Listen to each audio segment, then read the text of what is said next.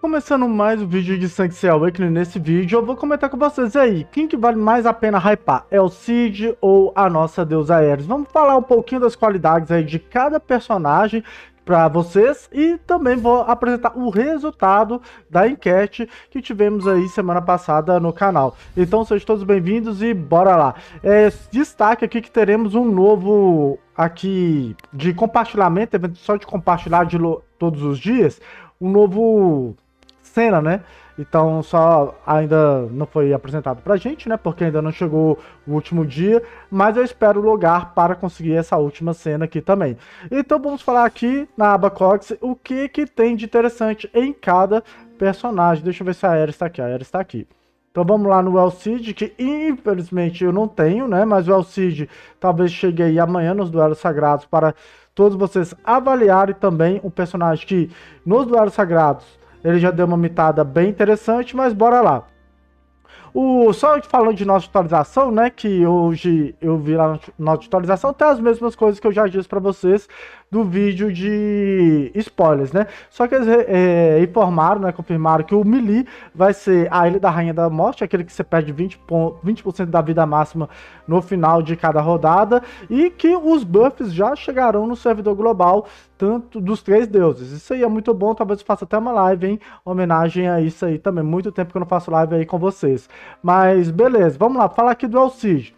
O que, que ele tem de vantagem? Vou colocar aqui três qualidades, dois defeitos de cada um, só para vocês darem uma avaliação. Então, o Elcid, um dos grandes diferenciais que fez ele se destacar, ele tem aquela característica de ser um personagem de DPS papel né? Nada demais, né? Se você dá alguns hits nele, ele falece rapidamente. Porém, ele tem esse escudo absurdo que consegue tancar muito, muito mesmo. É muito chato eliminar esse escudo, porque a gente tem que ficar selecionando o Elcid. Nem sempre o inimigo tem componente suficiente para ficar retirando o escudo do Elcid também. Ele fica vulnerável no primeiro ataque, que muitas vezes não é o suficiente para eliminar o Elcid, né? Porque ele precisa tomar dano para ativar o escudo. E depois esse escudo está prolongando para a rodada 3 também. E aí, às vezes, ele fica na rodada 3, rodada 4 com esse escudo. E ele tá full PV. Então, isso aí é uma das coisas muito, muito da hora do El Cid, que embora ele seja papel, igual um Afrodite divino, igual um cano de gêmeos, né, que seriam os seus maiores concorrentes, ele está acima da invisibilidade do cano de gêmeos, porque mesmo o cano de gêmeos ficando invisível, ele toma muito dano em área, principalmente de Thanatos, e acaba falecendo aí também. E o Afrodite Divino, ele tem um problema de ser um pouco mais lento e tal, ou seja, um pouco mais rápido, não que seja grande coisa assim também. Mas no caso, o, o Afrodite não tem nem proteção, né? Ele tem aquela roubo de vida do como é que fala? Do, do sangramento que ele aplica, mas a pior sobrevivência aí dos três, para falar a verdade. Então o Elcid ele se destaca dos S top de hoje por causa da sua sobrevivência. Ele talvez não possa ser o mais perigoso, sim, ele é perigoso, mas Afrodite ainda continua com sua maior periculosidade. O Canon, ele continua sendo ainda um personagem que é difícil de ser controlado, embora a gente tenha Serafina, Camus, mas é, ser selecionado para alguma espécie de controle, ele fica complicado também. O Elcid ele ainda é vulnerável a controle, é o que mais incomoda aí. O Elcid é a vibe do controle, mas o seu escudo é uma das grandes ferramentas para você hypar o Elcid, tá? Vamos lá, outra coisa, ele lembra muito, muito mesmo, é a vibe do Sukyo. Como assim né? lembra a vibe do Sukyo? Porque ele é uma unidade que de repente você atacou e vira o jogo. E simples assim, igual a gente joga com o Sukyo, usa aí a sua skill 2 e ele sai espalhando dano em todo mundo. É a vibe do nosso Elcid também. Ele tá lá, principalmente destacado a partir de 8 stacks, né, das suas lâminas. Ele começa a atacar todo mundo, eliminou o inimigo, começa a causar mais dano ainda em todo mundo. É um dano que ignora proteções também, ignora reduções de defesa, porque ele causa dano verdadeiro também.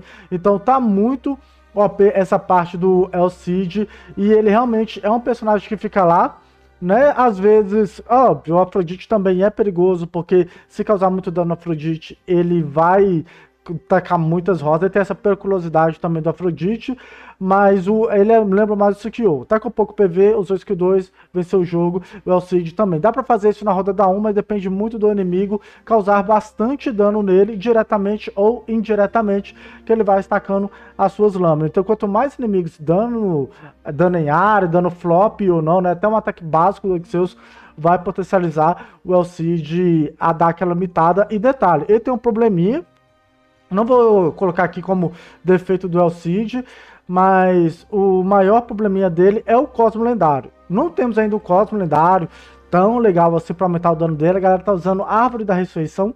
Eu não curto, né, muito Árvore do, da Ressurreição, porque ele já tem a sua proteção muito acima da média, né, por causa do seu escudo.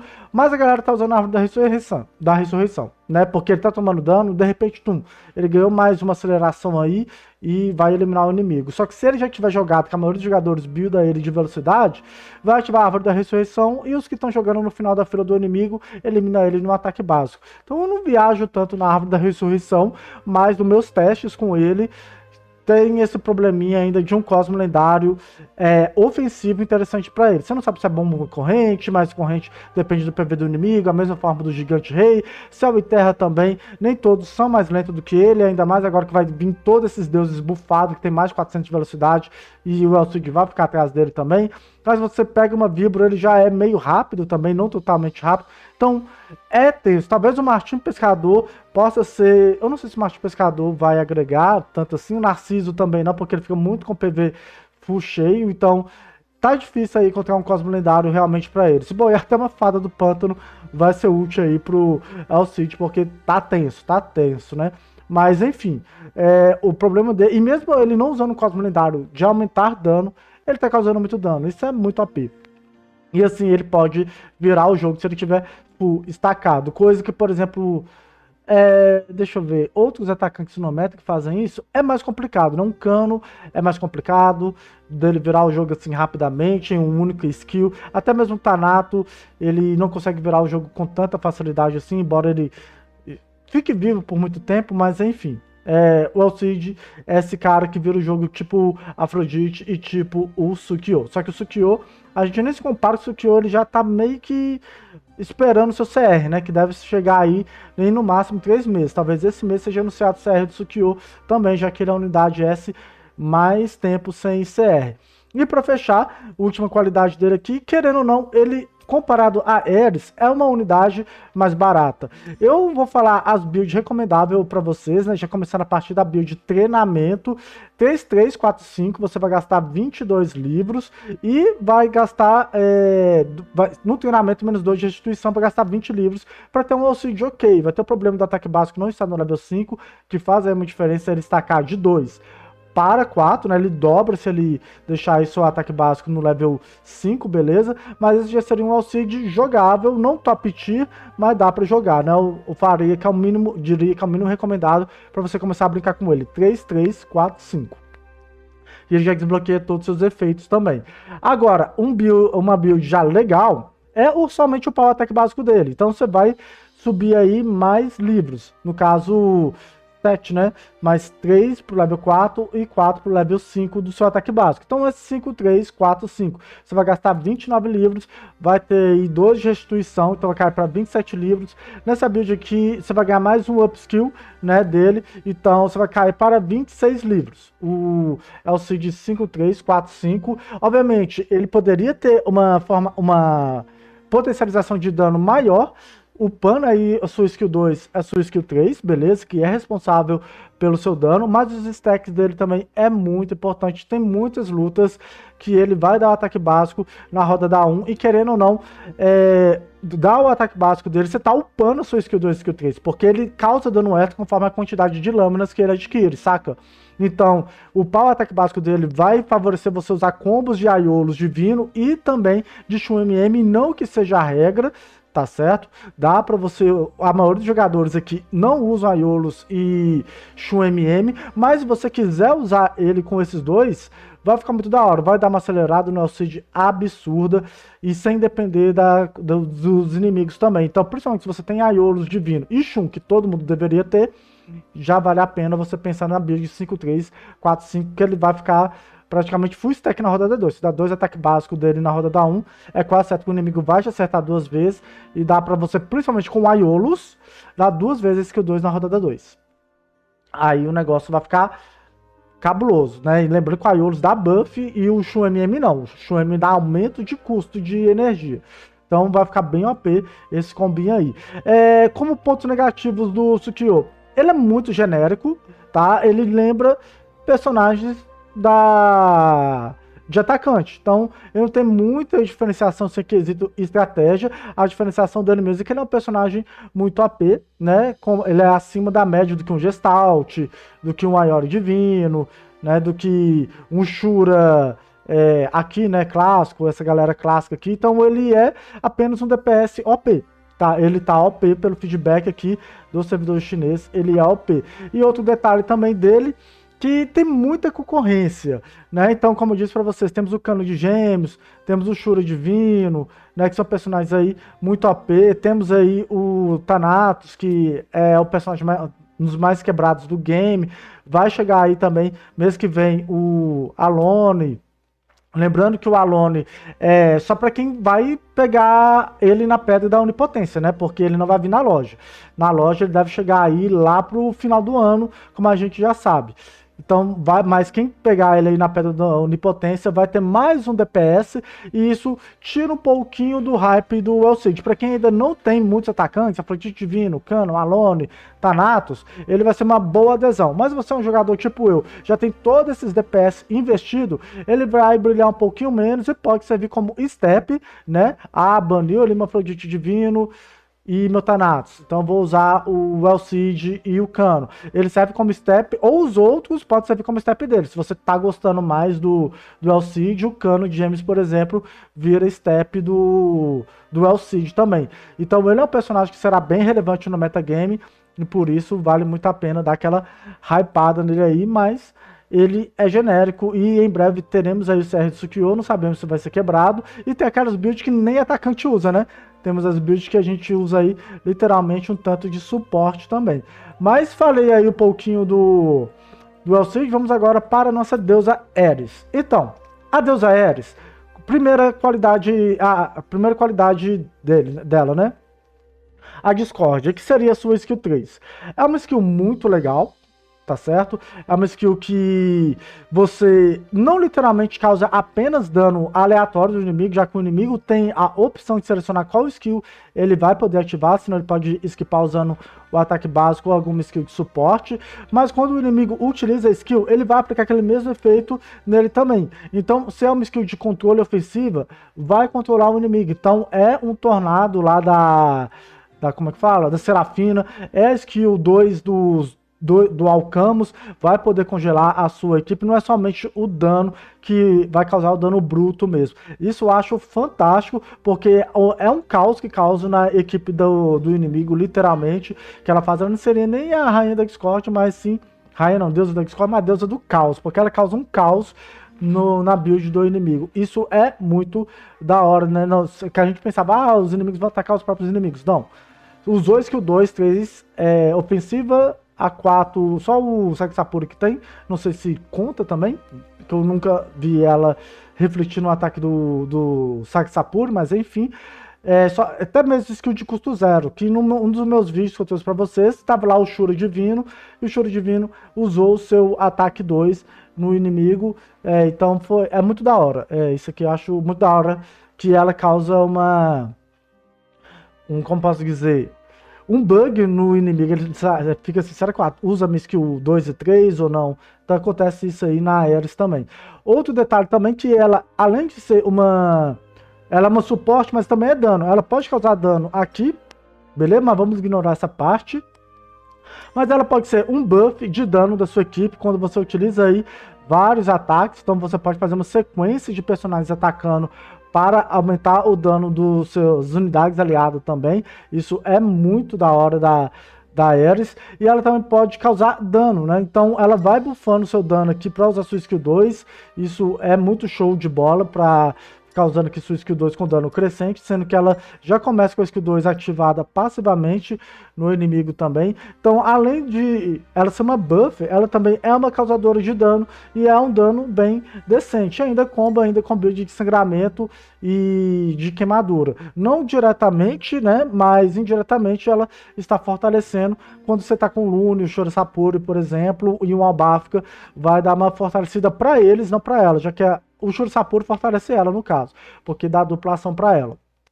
Então, e duplação é muito importante Principalmente se você quer usar a build de, da maçã, né? Porque tem tempo de espera de uma rodada. Então você usa o ataque básico com o Shura da duplação e ela pode reutilizar aqui a maçã novamente no inimigo.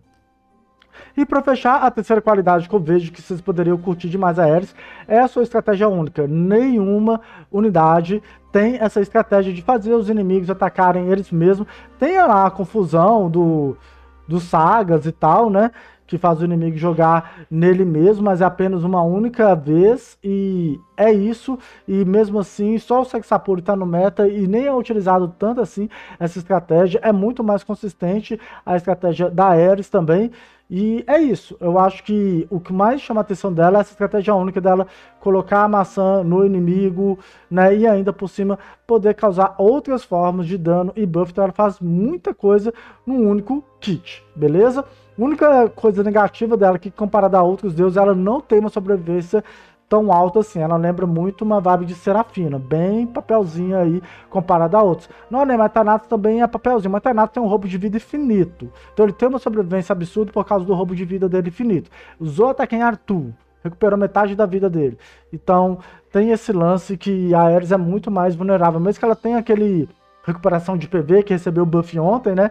Mas ainda não é uma coisa tão relevante assim. Mas tá com uma sobrevivência acima da Serafina, que nem redução de dano ela tem, né? Então, falando um pouquinho de coisas negativas da deusa Ares, é referente à sua própria maçã. Porque a maçã, embora ela tenha um esquema muito legal, mas é manipulável pelo inimigo. Então o inimigo pode sim usar é, estratégia já, não vou usar minha skill mais forte aqui, vou usar ataque básico. E aí vou usar a minha skill 2 e 3 mais flopada de um Doku Divino, por exemplo, para que não ative o sangramento, estava só como gerador de energia, para tentar ativar ali um ataque do da minha skill 2, saca? Então tem é, algumas jogadas manipuláveis, mas não são todas, né? E algumas também podem ser ineficientes, igual por exemplo das, da Persephone. Pô, Persephone, vai ativar semente no inimigo como? Se ele tem que usar ataque básico na sua própria formação. Não tem como, né? Então, vai ter alguma unidade ou outra que vai dar uma flopada, né? Ah, o Defteros usando, por exemplo, no inimigo. Nem sei como que seria isso. Mas enfim. Mas no geral é bem interessante a fruta da Discord. É manipulável, mas a maioria das vezes é meio estranho. É, a maioria das vezes é, é, legal, quer dizer. A Atena também é uma outra que é meio estranha, assim, atacar o próprio inimigo, porque ela não causa tanto dano assim. E se ela acertar o alvo inimigo que tá com menos de 35% da vida, será que ela executa o, o alvo da maçã? Seria interessante, hein? Nunca vi isso aí acontecer também, não. Então é isso que eu poderia falar aí da Deus Aéreos, fora que ela, dependendo da build do inimigo, se for uma build que só usa muito suportes, ela fica muito enfraquecida. É um tapinha, é a build retranca que dá um tanto de ataque básico, né? Que tem na Thanatos, a Báfica. Só fica usando ataque básico a maçã fica inútil e até ela ser eliminada e o inimigo volta a usar suas skills 2 e 3.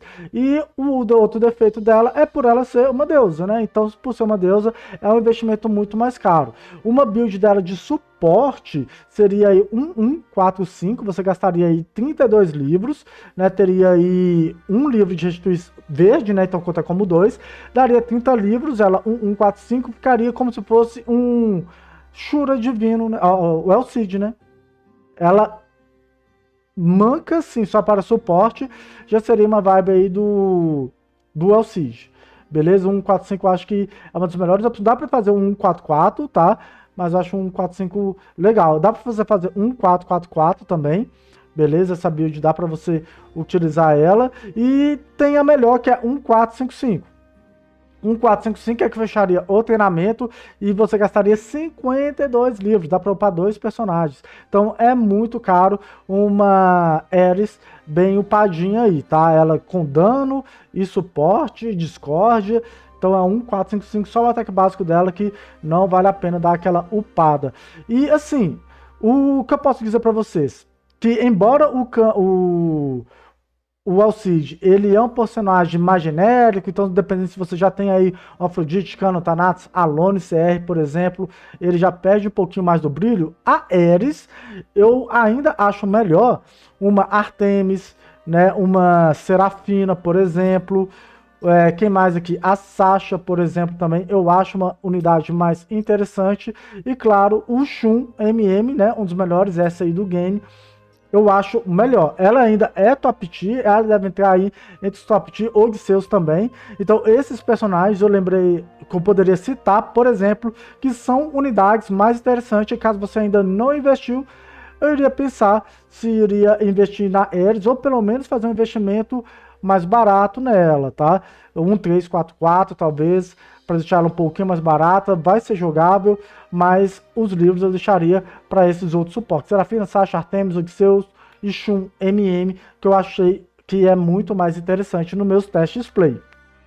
Mas não querem dizer que ela vai ser ruim. Eu achei mais da hora que um Hypnos, mais da hora que uma Persephone, né? Exclamação nem conta, né? Achei a pasta, pasta é um caso à parte, né?